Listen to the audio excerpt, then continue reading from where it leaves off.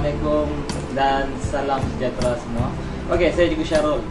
Okey, hari ini saya akan berkongsi kepada anda bagaimana teknik untuk uh, memilih ataupun tips untuk kita memilih keyboard seperti yang ada di depan saya ini kan. Okey. Uh, ini adalah yang saya baru beli bulan yang lepas melalui Shopee tapi lambat sikit lah sampai. Tapi uh, kita mau tengok kualiti dia hari ini. Okey. So, apabila uh, sebelum kita teruskan kepada video yang seterusnya jangan lupa like dan subscribe channel ini untuk menyokong channel okey.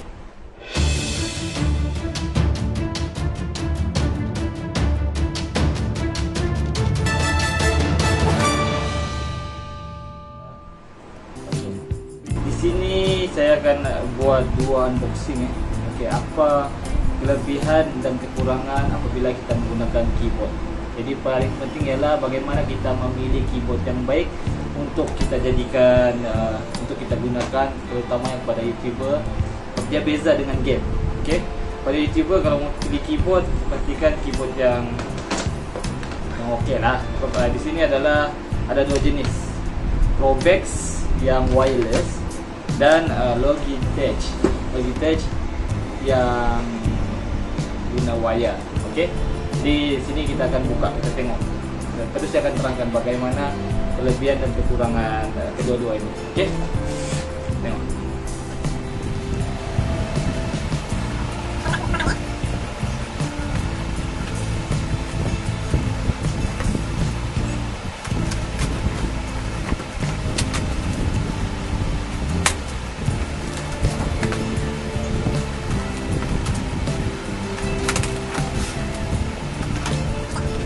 Adalah Logitech, okay, keyboard K120. Okay, uh, harga dia asal tidak tahu berapa tapi saya beli dengan harga RM45 saja. Murah kan? Tapi saya nampak kualiti dia sangat okey. Okay. Dalam ni ada keyboard dan ada mouse. Okay. Tengok, ah, ini dia punya receipt pembelian. Okey, resit pembelian Logitech K120 dan mouse dia ialah B100. Okey, saya beli dengan harga RM39. Okey, sekarang kita letakkan ke tepi kita tengok apa yang ada dalam keyboard. Okey. Okey, sekarang kita pinggirkan dulu ni.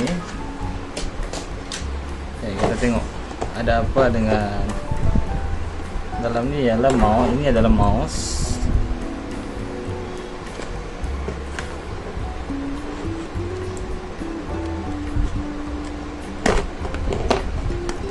Sebelum saya beritahu eh. Ini adalah mouse B100. Saya beli dengan harga RM39. Murah kan?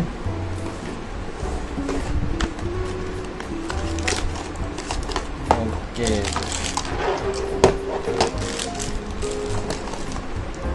Dalam ni ada mouse. Okey.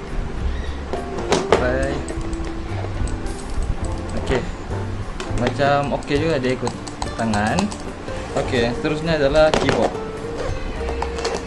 Sebab saya suka jenama Logitech ni Banyak dia punya jenama speaker uh, Semuanya best lah, bunyi dia pun best Itu yang saya pun bila saya beli adalah saya suka jenama ni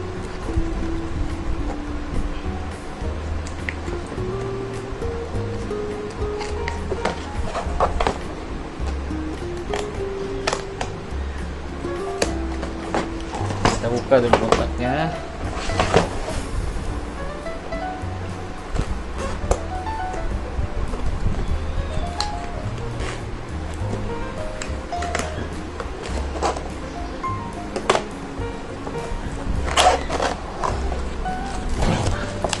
Ini adalah keyboard lah yang terdapat dalam ni. Kita letak kotaknya. Ini adalah keyboard. Okey. Ini kita tengok keyboard Logitech dan dia punya mouse. Okey. Mengapa saya pilih ini kan? Saya saya pilih Logitech ni uh, keyboard yang penuh adalah sebabkan banyak dalam ni yang tidak terdapat dalam wireless. Okey, contoh macam ni. Ni dua benda yang berbeza. Ini pun set juga. Protex. Okey. Ni set. Jadi apa yang beza dia? Boleh kita nampakkan button sini. Button ESC sama, tapi di sini dia berbeza. Okey.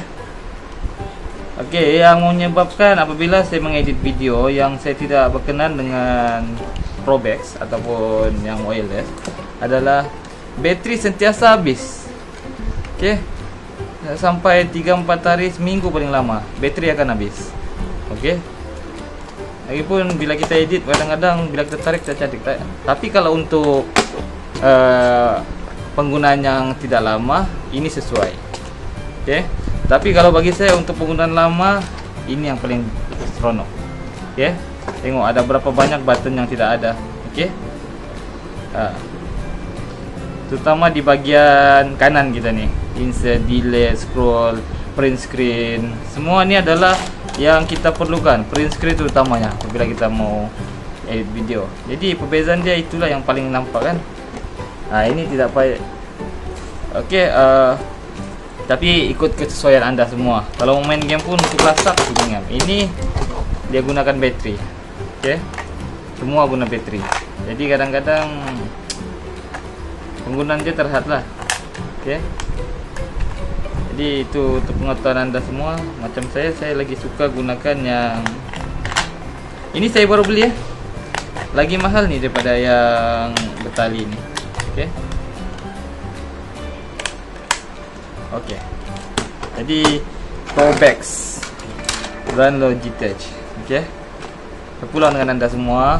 Kalau mau memudahkan gunakanlah Probex. Okey, Probex ni sangat mudah, sangat simple digunakan. Okey. Tapi mouse adalah ini yang paling best. Flip set. Saya suka pakai ini sebab dia slow. Dia ada bunyi Lepas tu bateri tahan Memang sangat seronok Ok jadi terpulang dengan anda semua Yang mana anda ingin gunakan Ok Kalau saya Saya lagi pilih Kalau untuk editing Sementara atau keyboard Atau gunakan laptop Ini mungkin sesuai. Wireless. Ok Tapi kalau untuk Editing menggunakan PC Ini yang paling sesuai. Sebab butang yang paling saya Suka sini adalah ah, Ini banyak. Scroll lock break. Yang tidak terdapat dalam keyboard jenis ni. Keyboard ni kan? Terutama print screen and semua kita boleh kontrol di sini terutama kalau gaming pun kalau game game tidak sesuai lah pakai ini sebab dia terlampau sangat-sangat simple okay. keyboard pun tidak boleh on tidak boleh off okay. kalau ini dia ikut kalau komputer on dia on okay. number boleh memang seronok lah Okey, jadi terpulang dengan anda yang mana pilihan anda? Kalau saya kalau mau gunakan jangka masa sekejap gunakan yang wireless. Kalau untuk jangka panjang terutama PC gunakanlah yang keyboard menggunakan USB. Okey?